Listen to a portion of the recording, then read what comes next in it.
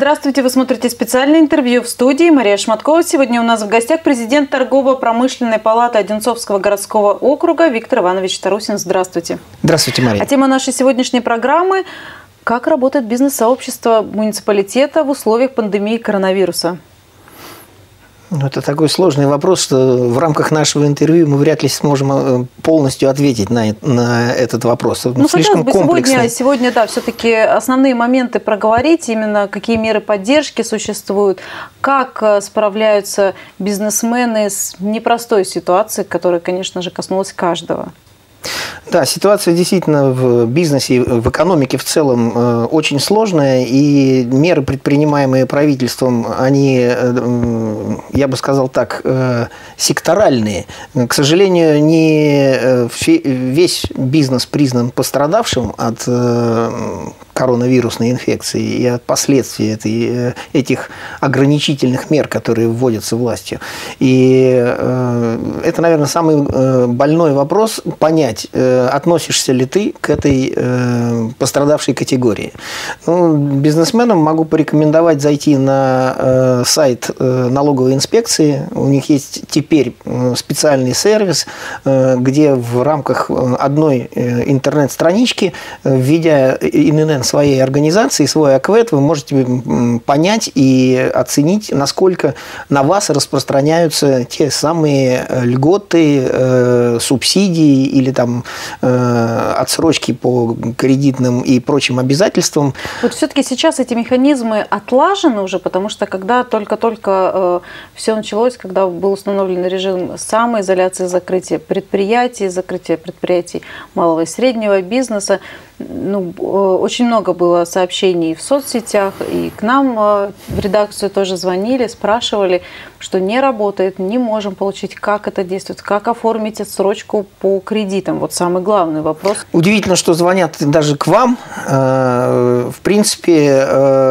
эти звонки можно адресовать и на горячую линию торгово-промышленной палаты, как российской, так и московской областной, и нашей Одинцовской. Все телефоны выложены на соответствующих сайтах. И ну, вплоть до того, что мой мобильный он является в том числе и телефоном горячей линии. Я отвечаю на... Но много было действительно? Да, звонков очень много. много э, звонков? Очень много звонков. И лукавить не буду. Действительно, э, то, что объявляется э, на высоком уровне о мерах поддержки, не, недостаточно оперативно реализуется все-таки внизу. Но за эти прошедшие недели многие вещи стали э, действительно доступны. Ну, в частности, вот э, первое, о чем можно сказать, что э, банки, ну, в первую очередь Сбер, начали выдавать вот те самые обещанные кредиты под 0%, под 0% для выплаты заработной платы сотрудникам. У нас уже прошло так называемые две волны поддержки, объявленных мер поддержки со стороны правительства. Соответственно, Соответственно, э, есть определенная задержка э, в плане реализации этих мер поддержки, поскольку сначала объявляется на федеральном уровне, потом это все должно подтвердиться на региональном, э, ну а далее уже реализуется на земле, на местах, на муниципальном уровне. Есть определенная такая вот естественная задержка. Но э, вот э, сейчас э, исполняющий обязанности премьер-министр Российской Федерации Белоусов э, поставил задачу правительству до 11 мая подготовить третий пакет мер. Как заявлено, этот э, третий пакет будет э, больше ориентирован на э, сохранение рабочих мест – и э, поддержание жизнедеятельности э, пострадавших э, компаний и предприятий. Это самый больной вопрос, вот именно сохранение рабочих мест. Да. Потому что все прекрасно понимают, что практически сейчас у каждого есть обязательства и перед банками, и перед семьей. И действительно люди, которые не работают в госструктурах, в бюджетных организациях, а работали в частном бизнесе, да, получали зарплату от, э, непосредственно от компаний частных, то они оказались в непростой ситуации, потому что далеко не все компании сохранили заработные платы Конечно. или сохранили их в полном объеме. Мы все это прекрасно знаем и все прекрасно понимаем, ну, что э, ряд таких возможностей есть далеко не у всех.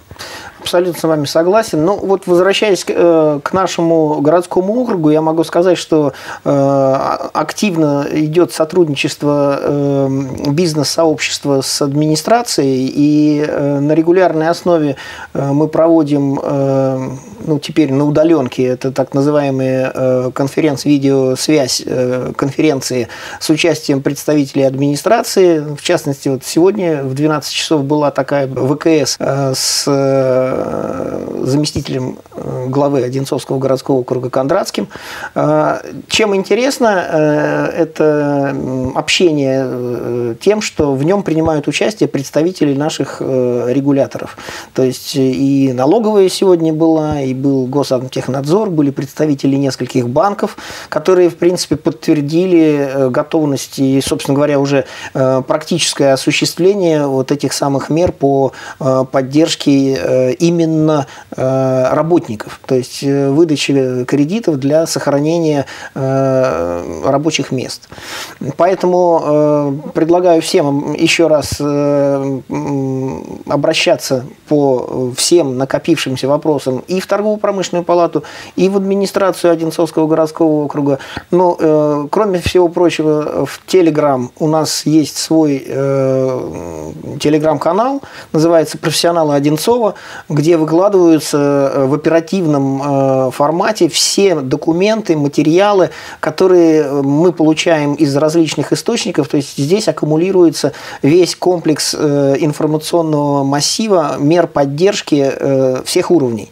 Кроме того, Торгово-промышленная палата Российской Федерации смогла мобилизовать представителей основных федеральных регуляторов, которые отвечают за поддержку бизнеса. Это и эм, Минфин, ЦБ, э, налоговая, ФСС, э, Роспотребнадзор. Вот с этими организациями на регулярной основе проводятся вебинары. Информация об этих вебинарах также находится на портале эм, профессионала Одинцова. Э, чрезвычайно полезные, актуальные материалы и те самые платформы, на которых вы можете задать вопрос напрямую представителям на уровне замминистров, кто участвует со стороны э, этих органов э, в подобных дискуссиях. И тогда меньше придется вам э, на вашем телеканале отвечать на вопросы, на которые всегда трудно найти ответы, потому что они находятся... Ну, как правило, мы их как раз-таки и маршрутизируем Без... к вам, Спасибо. Просто, просто подсказываем, куда обратиться кому, кто действительно может помочь и разъяснить в первую очередь. То есть э, для людей очень много вопросов, и хочется, чтобы они получили максимально полный ответ. Еще такая э, группа вопросов, э, которые я хотел бы сейчас озвучить, это вопросы арендаторов к арендодателям. Так вот прям сняли с языка, Виктор да, Иванович. Это... Хотела вот сказать, акцентировать внимание на том, что очень многие арендодатели именно в нашем муниципалитете с первых дней введения режима самоизоляции, карантинных мер, они, в общем-то, пошли навстречу э, тем, кто арендует у них площади, и снизили где-то, сделали отсрочки. То есть это очень здорово, когда вот в таком тесном контакте удалось так быстро наладить вот это взаимоотношение.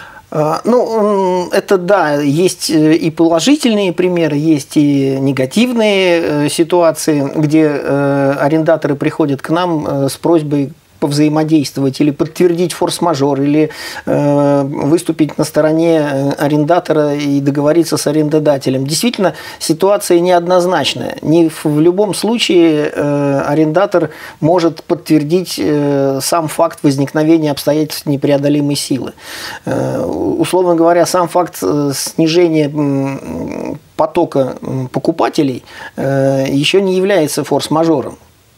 Э, и поэтому здесь э, чисто с юридической точки зрения, конечно же, э, решить вопрос не всегда представляется возможным. Здесь вступает уже в силу... Мне кажется, здесь должно вступать в силу человеческие, человеческое качества, качество. все-таки понимание ситуации в целом. Но ведь все видно невооруженным глазом. Тем более правительство, в принципе, здесь пошло навстречу бизнесу. И есть уже постановление правительства о том, что аренда арендодатели, которые обеспечат снижение арендных платежей хотя бы на 50%, не менее 50%, получат возможность льгот, получения льгот на налоги на землю и на имущество.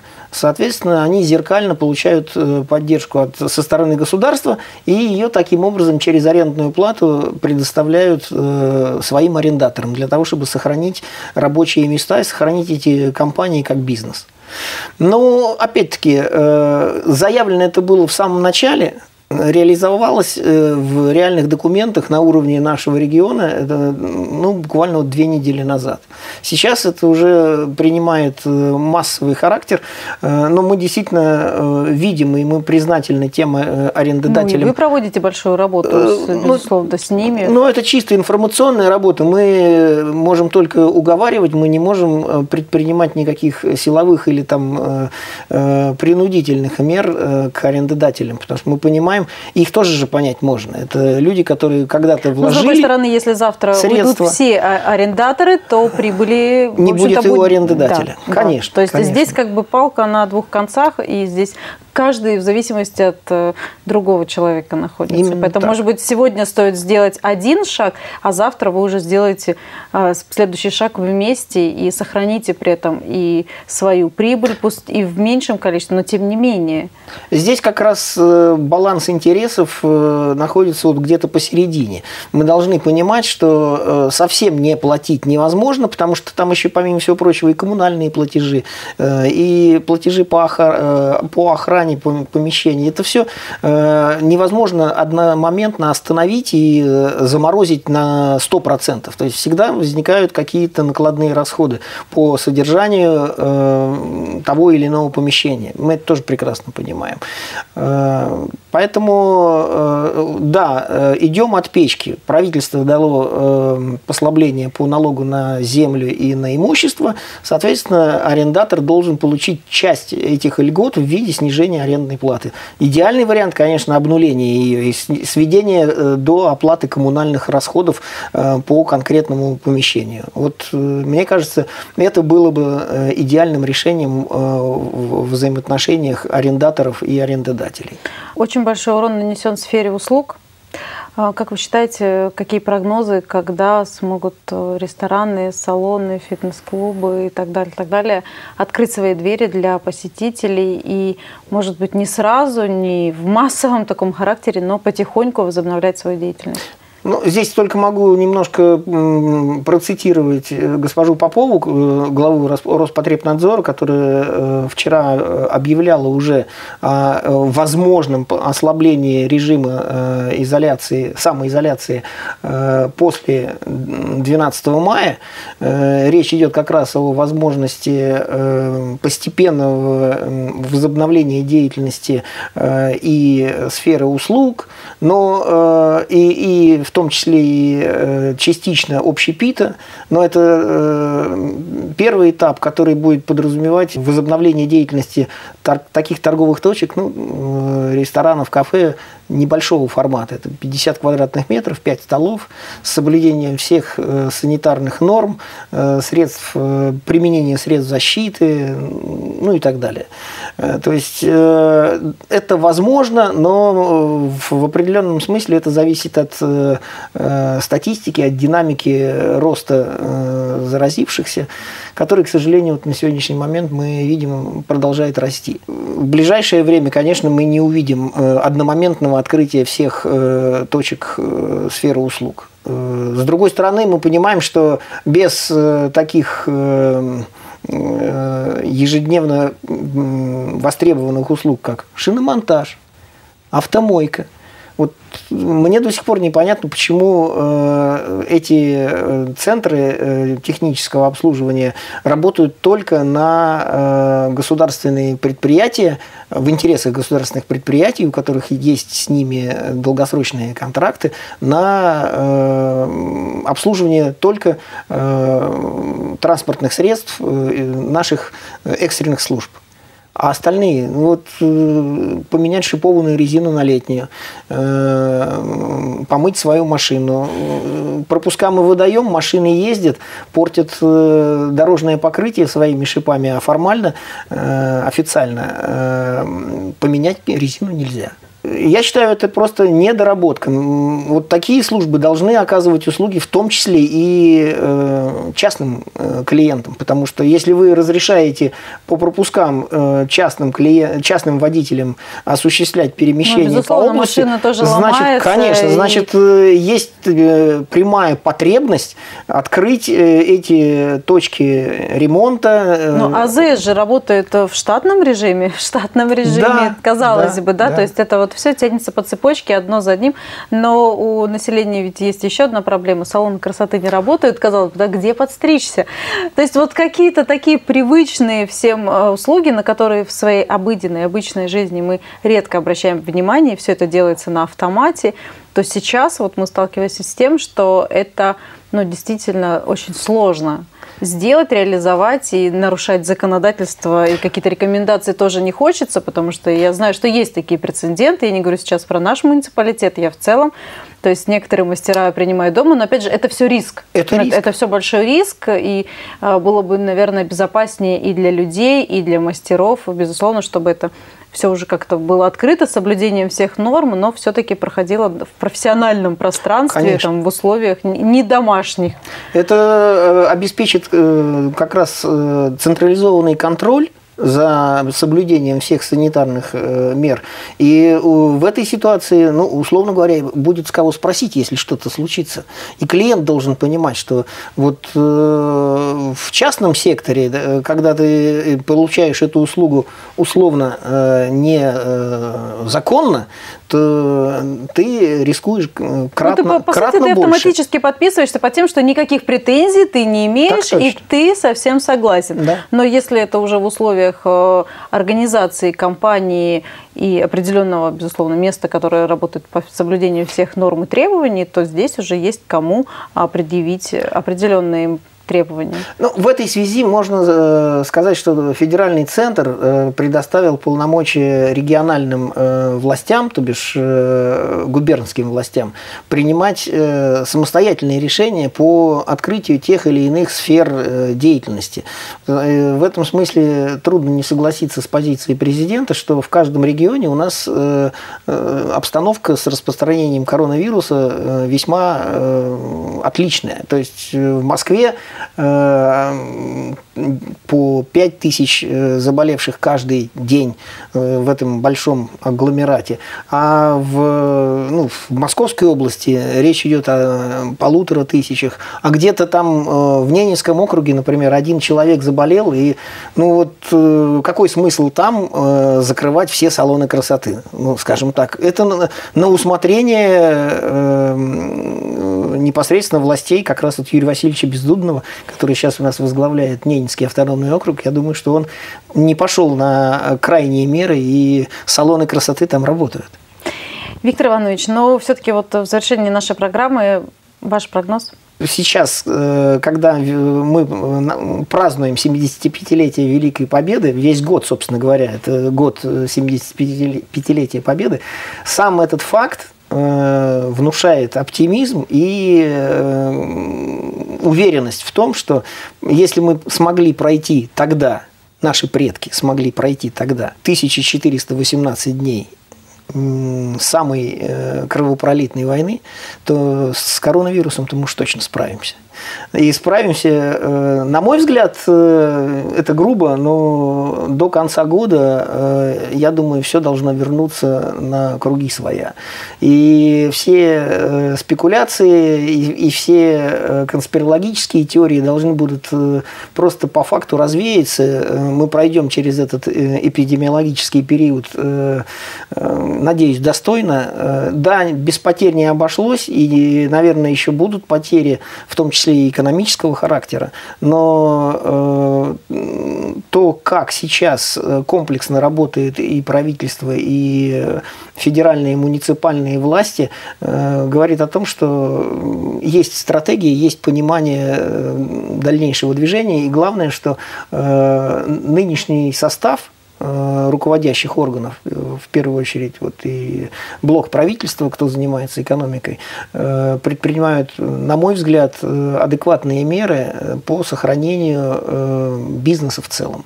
Поэтому я оптимист. Я надеюсь, что, как я уже сказал, до конца года ситуация выправится. А дальше только вперед. Спасибо, Виктор Иванович. Спасибо вам, За Мария. содержательное интервью. Вы смотрели программу «Специальное интервью». Берегите себя, оставайтесь дома и смотрите телеканал Одинцова. До свидания. До свидания.